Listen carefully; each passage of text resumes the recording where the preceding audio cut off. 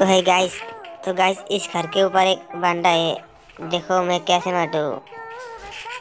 ये बहुत अच्छा तरीके इस घर के ऊपर बंडा उठे तो भाई कैसे मारना सही देखो। ये देखो बंदा। सीधा हेडशॉट दे दो अभी। पता ही नहीं चलेगा बंदे को कहाँ से मारा। तो वीडियो देखकर अच्छा लगा तो भाई एक लाइक काटो यार। लाइक नहीं काटो तुम लोग।